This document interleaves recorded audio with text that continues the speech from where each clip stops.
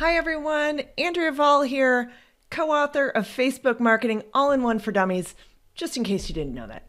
Here we are. We're going to talk about the Facebook ads overview because I find that people sometimes aren't sure even where to look in the Facebook Ads Manager, aren't sure how to find it, aren't sure what they're looking at. So I'm going to give you a big overview and explain a few of the things with the navigation, what they are, so that it's not so overwhelming. So, if you've run Facebook ads before, you may have just done it by boosting posts. And that's great. You can boost a post from your Facebook page, but there's so much more to Facebook ads that can improve your results dramatically when you use the Facebook Ads Manager let's just look at what you might have seen in the past as far as your stats. So maybe you've boosted a post. You might have looked at the promotion here to see what's happening, get the details on how the promotion's doing. Um, and you might have also seen that in your uh, insights section. You can see when you've run posts right from the main page, you scroll down, you see some of the boosted posts, see how they've done, reviewed the results here and uh, gotten some details. Now, the problem is with this is that you might have to do some math to figure out okay how much was this really costing me uh, and and was this really worth it? And i don't want you to have to do math okay? So let's go into the ads manager so the math is done for you and you really can dive into the stats to figure out was this ad really performing well?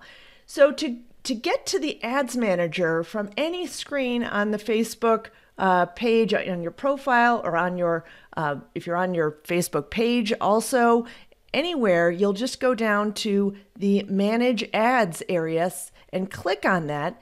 And when you get to that, you're going to uh, get to this screen and there's a lot of information there. Possibly, if you haven't run ads before, then maybe there's nothing there. The all of your boosted posts are in there. So all the data from a boosted post is showing, and you can see here, this one says post, and then it has the first few words of what that post was, so you can remember what that post was about. And then it'll break down this information. I was getting 249 per link click, which is not that great for that post. But if I look at the conversions, I was actually uh, doing a little bit better. And I don't have the right screen here for the conversions because it defaults to performance or performance in clicks. If I go down to the report I've created for website conversions, I can see that I'm getting uh, $3.11 per website conversion. Not bad for, for some of the other ads that I'm running. So that was that is good results for me. Uh, and you always have to benchmark against yourself.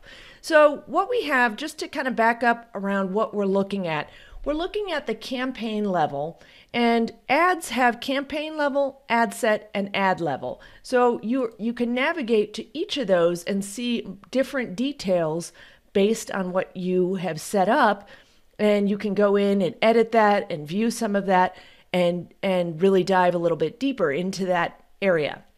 So the other thing that's here is the account overview, and that gives you details about how much you've spent over time, what kind of performance you've seen, and that can be helpful to look at from time to time. Up in the upper left corner is the critical menu, and it's not even that it's that clear. This is called a hamburger menu up here. There's three lines apparently. I did not know that. So now every time I look at it, I think of hamburgers. So it's got this little three lines, and that's a menu uh, that you can access and it pulls down kind of the frequently used, but you have to mouse over this all tools to really see everything that you can access in the ads manager.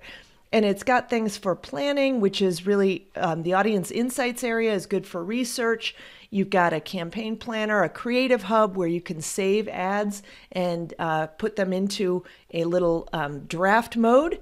And then from the Create Manage, you access different things like Power Editor, Business Manager, Ads Manager. And uh, there's lots to do with all of those.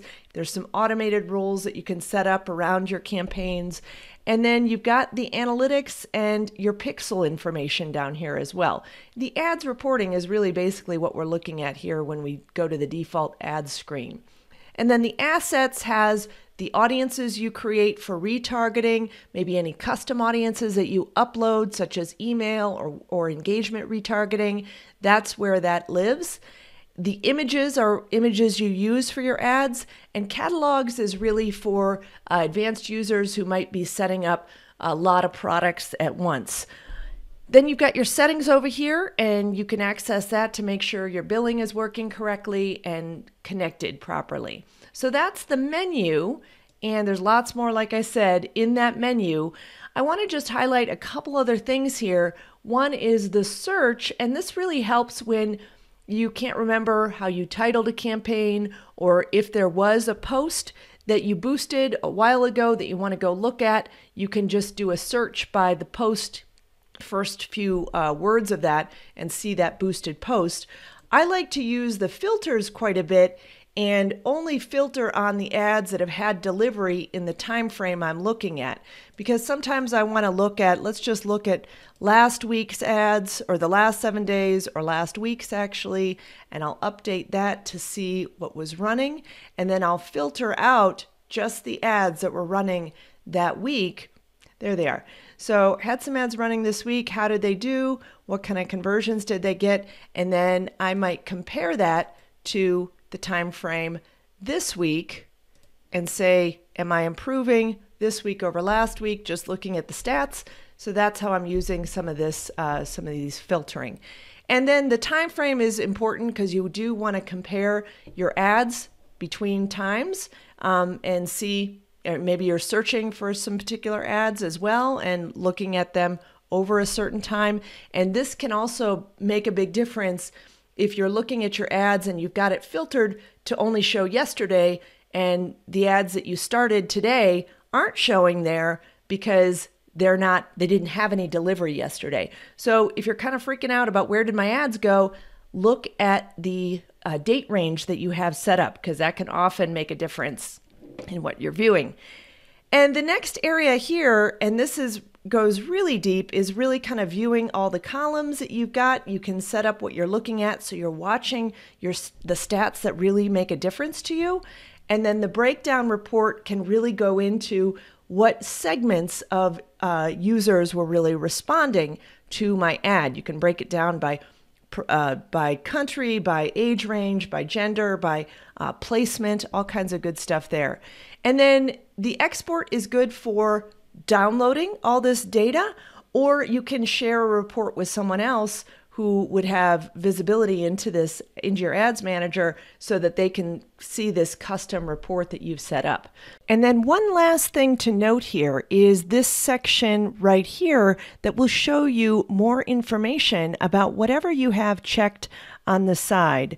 So for example, I need to check something and I'm at the ad level here.